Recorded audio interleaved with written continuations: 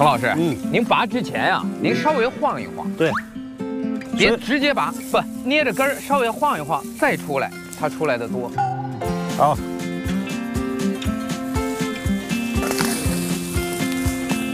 哦，好可爱哟！呀，哇，真的好肥。啊，你看长得多好。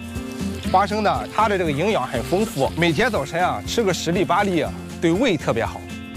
吃生的还是吃熟的？吃生的，搞了半天，我吃了四十多年花生，吃错了。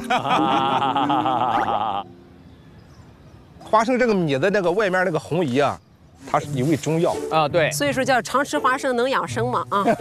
对 长生果不是白叫的，对，